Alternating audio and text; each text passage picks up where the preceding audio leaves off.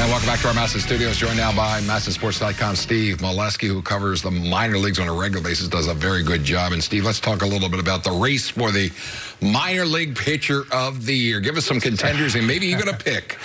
They've got we got a lot of good contenders, Tom. I mean, this has really been a good year for pitching on the farm, as you know.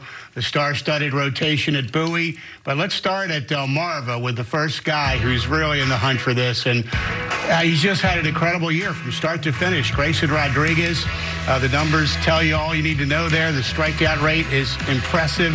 He's improved his changeup this year. His last start, Tom, five no-hit innings. He touched 99. That was the season high. So uh, the, know, they've handled him beautifully this year. Zac Lowther, he knows all about this award. He was a co-winner last year. He moved up to Double A. The numbers are really strong there. He's been incredibly consistent for Bowie, a 12-game winner. One of his uh, teammates has won this award before, Alex Wells, in 2017 when he was with the Shorebirds. And he might be one of the real surprises of the year because we know his velocity is not great, uh, but would it play at higher levels? And look at how it's played at Double A this year. 21 walks all year. We know he can command the ball. And Michael Baumann threw a no-hitter a couple weeks ago. He's probably the Oriole pitcher whose prospect status has risen the most within this season.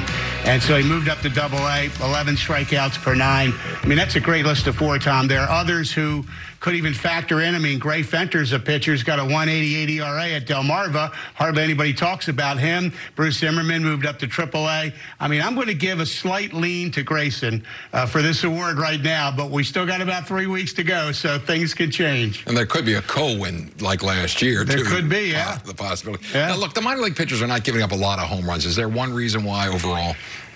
You know, I think they've just done a great job keeping the ball in the park, and it's really impressive to see because at a time when the Oriole uh, major league team, as we know, is giving up an extraordinary amount of home runs. Look at this on the farm, how little the ball is flying out of the park. I mean, this is impressive. Single digits. This is for the year now. Grayson Rodriguez, three home runs. DL Hall, three.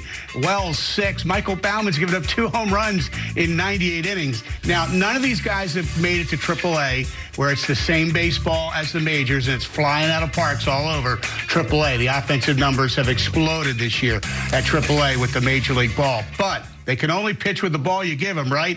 And they're keeping the ball in the park. And, Tom, that might bode well for the future of Oriole baseball. Steve, let's go back to the uh, no-hitter in Aberdeen the other night. What stood out most to you? Uh, you know, it's a really impressive night for those three kids, and there were a couple really solid defensive plays that helped save this thing. Uh, one was uh, Andrew Daschbach, the first baseman. He made a great play at first base on a hard liner.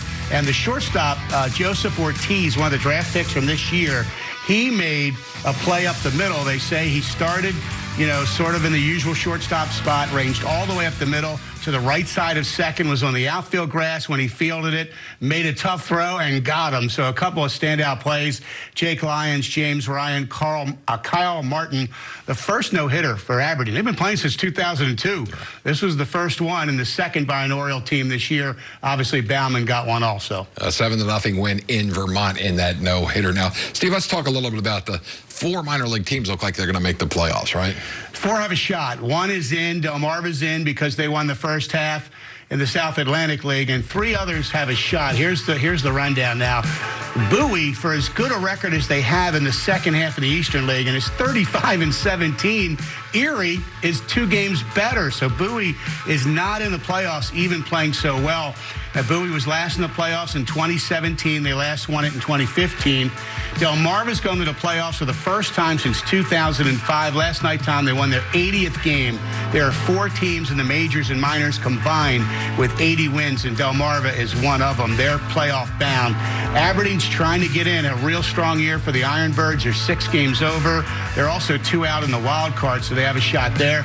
The Gulf Coast League Orioles have one of the best records in short season baseball, 26 and 13. Their pitching staff is really strong, so they have a shot. They're in first right now. So uh, one is in, potential for four. The last time the Oriole minor leagues won championships, you got to go back to 2011. Frederick, that was with uh, Jonathan Schoop and Manny Machado. They had a great run in the playoffs.